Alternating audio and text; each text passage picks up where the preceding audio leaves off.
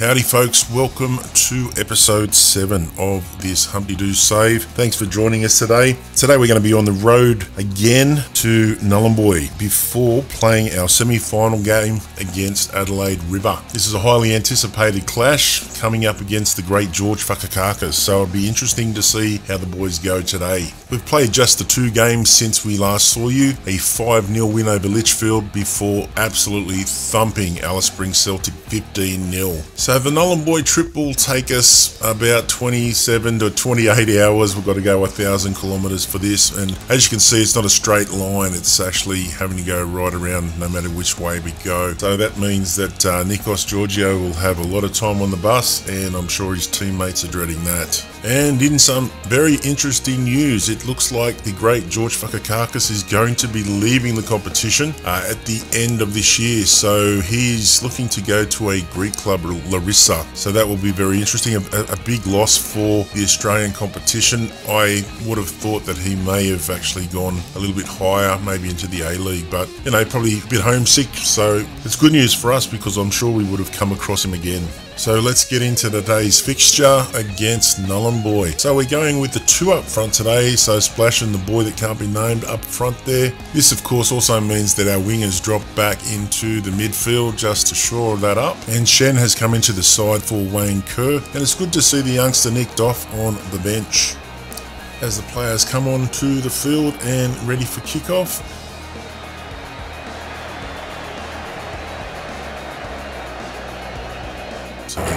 three minutes in, nothing really happening there. A couple of fouls to each side, a couple of shots on goal there, but it is Dixon Bulls in the red today, and it is Astley puts it onto the woodwork, and it is completed there by Zas. So nice early goal in the seventh minute, so 1 0. So let's watch that again. Dixon Bulls crosses it in, Astley goes up, hits the woodwork, and then Zas is there to clean up. Great start for the boys. So Georgiou the man himself there throws it into the boy that can't be named, crosses it in there, but it's defended well by Hoda from Nhulunbuy. And it is Fatu has a shot and just wide there. Not a bad effort though. So Nhulunbuy on the attack, but again Dixon Ball dispossesses that player there and Boys on the attack again, trying to get the goal. But a good stop there by Haywood has done pretty well, although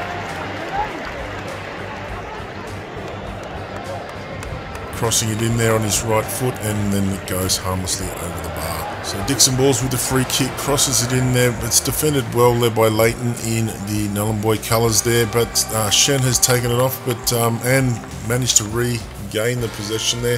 Crosses it in to no effect.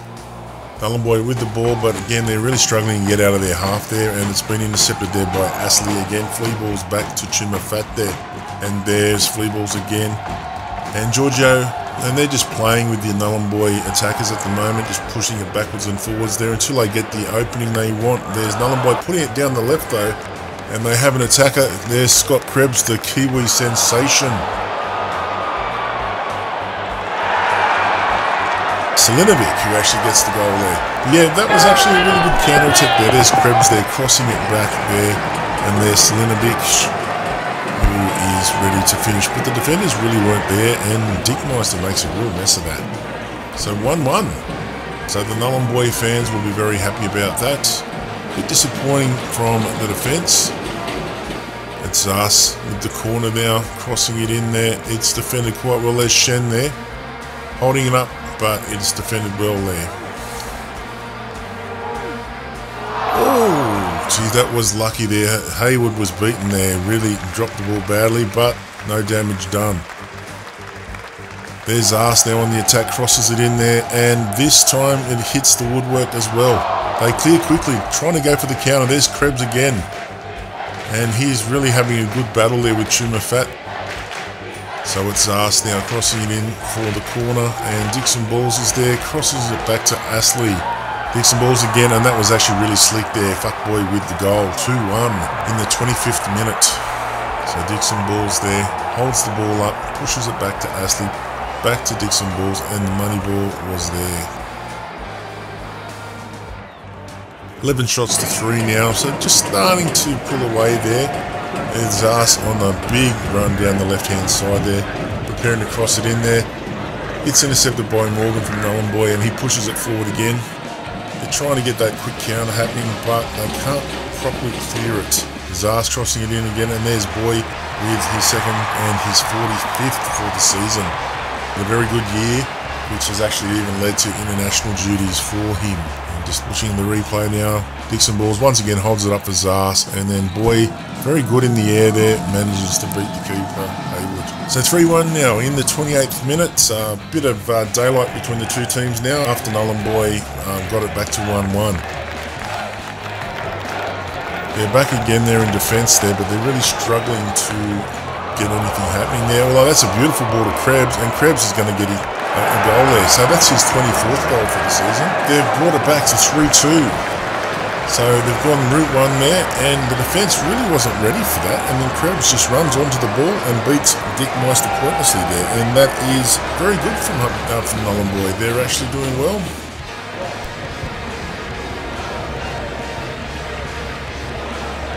Hey, there's Haywood with the ball from the back. And then Nugent pushing it through there, but Giorgio's there to clean up there. And then there's Shen playing around with the ball there. A very tall man, standing proud, Eric Shen. And there's Boy with, I think that's goal number three for him today. And that is 4-2. So just as Nhulunbuy think they've got something happening there, we always just have that little bit more class just to sort of push away again. But the tall man Eric Shen, standing proud there, really does well there, manages to hold the ball up and then thread the needle for the goal there. Good cross from Giorgio as well. In the 41st minute there, Farts would throw in there. It's intercepted by Nhulunbuy there, and Ashley does something a little bit bizarre there, probably over exaggerates that.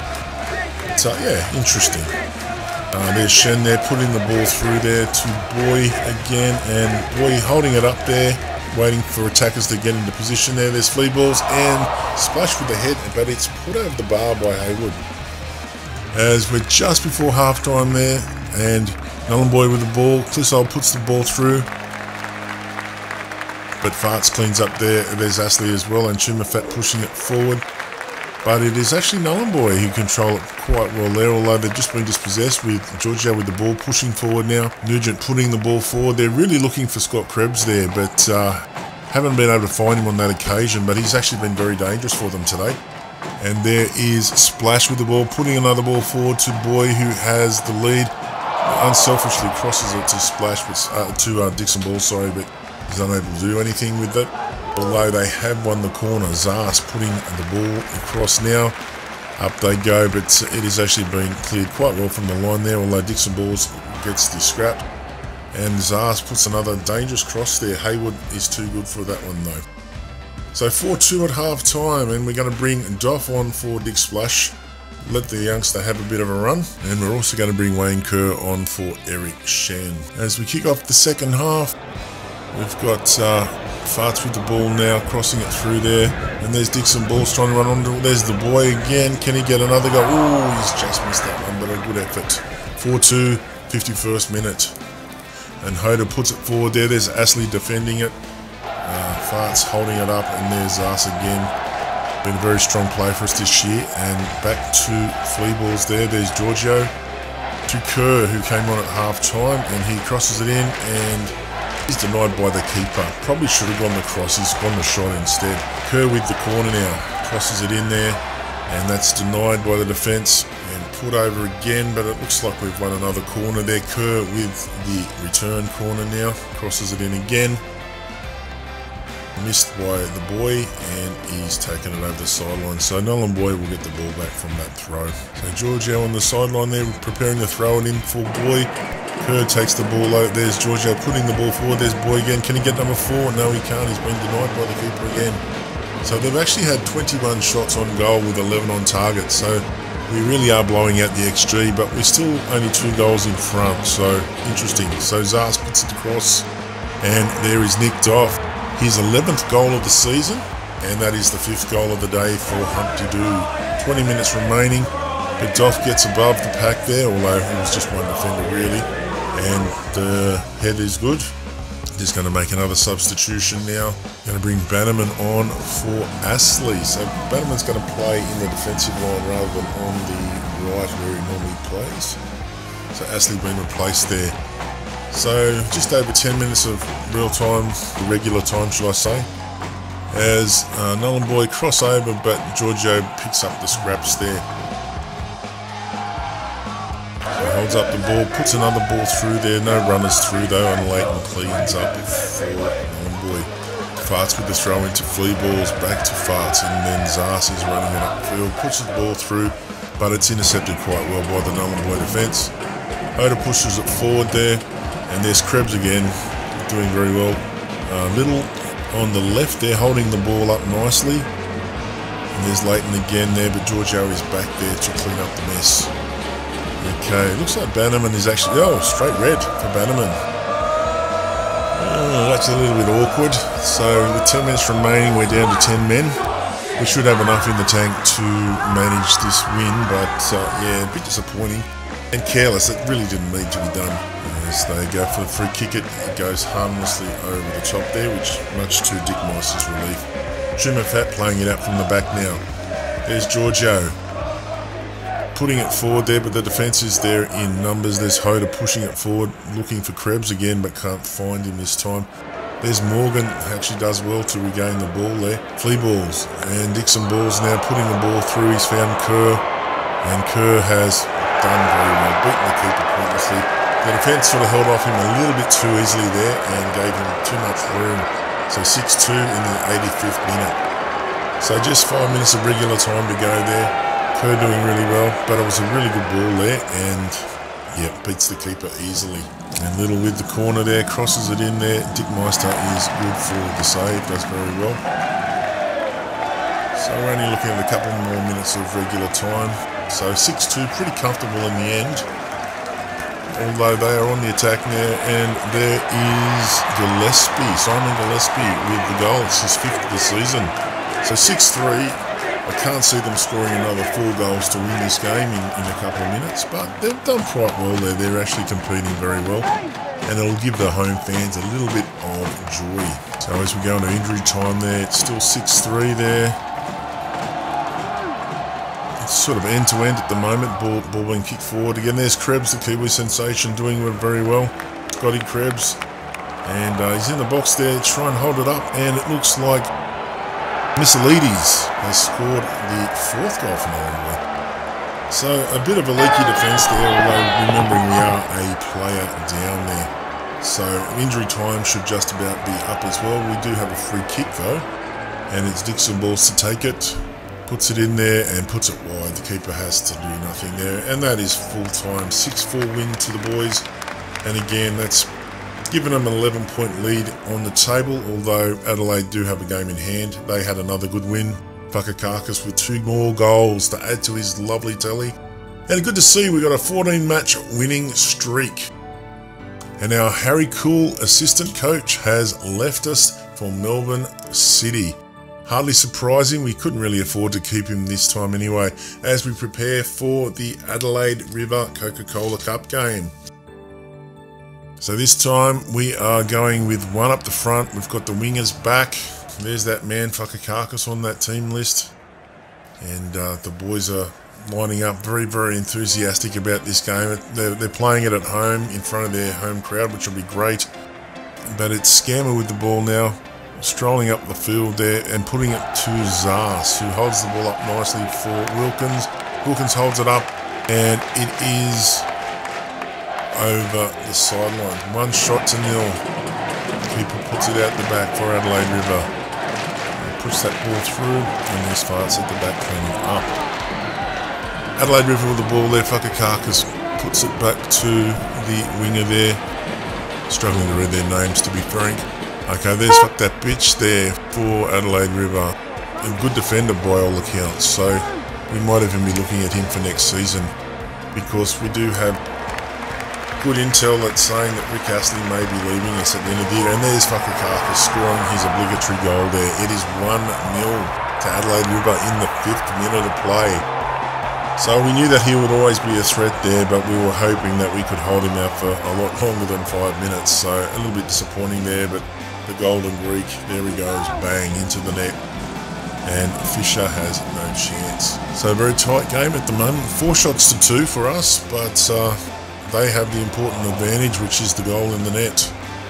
So Fisher playing it out from the back there. There's Chuma Fat now holding the ball up, pushing it through to Scammer. It goes out to Zas, who's holding it up again, just trying to get runners in position and, and players into better positions for the attack. Puts a beautiful ball through there, although it's defended very well by Adelaide River. But Wilkins does well there, gets the ball, and it is Kerr that finishes that movement off. But that goal is all down to Bill Wilkins' uh, defensive work first of all, and then the ability to switch defence into attack really quickly. So Scammer with the head there. Nothing much on there, but Orsi uh, gets badly beaten there, and Wilkins just takes the ball, and Kerr's there to pick up the scraps. We're way in front of on XG, but uh, there's still 1-1 on the scoreboard. Not a lot happening there. There's Giorgio with the throw now. Wilkins crossing it back to Giorgio. He puts a lovely cross through. There's Wilkins there, but it's defended well by Wester Studi, the Adelaide River goalkeeper. Holds the ball up, pushes it forward, looking for Fakakakis there. Finds him, but he's unable to control the ball, and it's back with Giorgio now. And there's Kerr uh, running down the right again. Being dispossessed that time by Moonrimmer, so interesting play there. Although we're on the attack again there, and Zas has got the second goal. Does very well. Doesn't panic in front of the keeper. Sums up the situation and puts it past him. Excellent goal. So yeah, but it was Scammer there with the um, the interception there, then to Boy, and then Zas in his big space there. He's able to, with pinpoint accuracy, put it into the net. So 35 minutes in, we have a corner. There's Kerr crossing it in there The defence is unable to clear it, although they've done pretty well to dispossess Wilkins there, although Fleeballs has picked up the scraps from that. Puts it back to Giorgio, and that's been intercepted by Castro. Can he actually get the ball through? No, he can't. There's Foster, though, putting it forward, but there's no one there for Adelaide River. Giorgio picks up the ball to flea balls. Kerr running onto it again. Can he beat the keeper? He has. 3-1. One thing about Kerr, he is an amazing finisher and he's very, very quick as well. So uh, really puts the keeper under tremendous pressure there. But again, beautiful ball by Fleeballs, but look at the pace of Kerr to actually street the defence and then just rounds the keeper and just beats him easily. Excellent goal. So from 1-0 down to 3-1 in front, that's actually really big turnaround there. And I think the big problem with Adelaide River is that it is a Fakakakis or nothing sort of show at the moment. George has been very strong for them, but uh, he's been the only one that's really stood up. And there's that bitch there putting the ball through to Fakakakis again, but Fakakakis can't control it. Fleeballs gets pulled down there, but it's play on from the referee. There's Kerr putting it back to Fleeballs as he pushes forward. Defence is coming, but he's put a beautiful cross in there, and it looks like Horsey might have given away a penalty here. He has. Kerr to take it. And it's been saved. So the keeper's done very well there. That could have been 4-1 there. So that would have been game over. They're still in the game at 3-1, I think. Uh, there's Kerr there streeting down the right again. He'd be very disappointed with that penalty miss, but he's playing very well otherwise. There's us again. Can he put it in for 4? He does. 20th goal for the season for him. Excellent job. So once again, Kerr's pace down the sideline uh, just sets everything up there and Zas in freedom. There's no one marking him and he's just able to move into the space he wants and then put the ball away. Great job. Just coming into half time now, 20 shots on goal to two. So the boys I know were very up for this game. So great to see Tosukokov coming on for Scammer at half time. And Goldschmeckel's going to come on for Astley as well. 22 shots to 3 in the 54th minute. Not a lot of highlights happening at this point in time.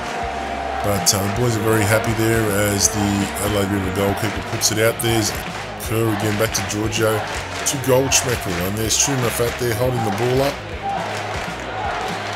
Toskok off with the ball.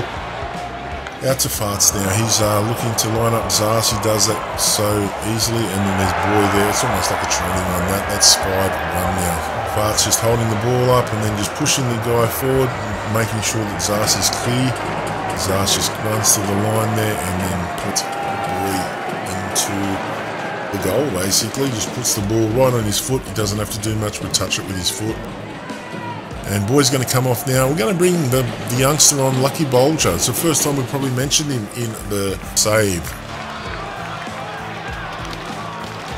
So he's only a young fella, but has a lot of potential. So Foster for Adelaide River crosses it in there. It's saved very well there by uh, Fisher. So that's good job there. They're still attacking though, but France is there to defend, and there's Kerr and Giorgio closing ranks there, and then going for the counter attack there. So Bolger, the big red-headed fella there, got the ball for the first time. There's flea balls there to Goldschmeckel. There's Bolger. I don't know whether he's, I don't know whether Bolger's actually played before, but he definitely hasn't played in the save. So that you have seen. So he might have played some of the other games. And again, just, just teasing the defence and just running straight to them and then just putting the ball in. 17th goal of the season for Ryan Kerr. So 6-1. So this has been a really one-sided game after I after thinking that it was really going to be a tight one. Adelaide River, yes, I know that they're a little bit behind us on the table, but they do have a lot of capability in their team. So Fakakakis with a kick off to Castro, and they are really struggling there. Um, their morale, their heads are down, although Fakakakis is holding the ball up to see if they can get something happening there. There's Castro there holding the ball up, crossing it in, but there's no one there. There's Farts there cleaning up the mess. Back to Fisher, puts the ball down the middle. Can't beat the uh, defence there, and Fakakakis has a shot. Good effort actually, but uh, just goes a little bit wide of the keeper. And Foster with Adelaide River just putting the ball forward there, but it's defended easily. There's Wilkins there. There's Bolger. Just wondering if the, the lad can actually get a goal on the board. Giorgio pushing the ball forward again, but there is no one there. That bitch is back there and defending very well. Although the clearance is a little bit iffy again. Chumafat pushing it forward. Wilkins preparing to cross it in. There's the Bolger there. Can't quite get his foot on the edge of that. But, um, you know, he had a good go at it. There's Tosikock off now to Kerr. Kerr puts it in and Wilkins gets goal number seven. His 14th of the year. So it's 7 1 with injury time to go, basically. I think Adelaide River will be very disappointed with that effort. They, uh, they had high expectations for this game, although the smart money was still on us, and that's full time. So 7 1, and uh, it looks like we're going to be playing ECU Joondalup in the final. They've had a very close 1 0 win over Coburn City, and Lucas Neal has officially agreed to be our new assistant coach. He was working with the boys in a different capacity, but due to Harry Cool leaving us, we needed an assistant. So excellent news. Anyway, we're going to leave it there today. Thank you for your attention today, and I look forward to seeing you all in episode 8. Look after yourself, guys, and we'll see you soon. Bye.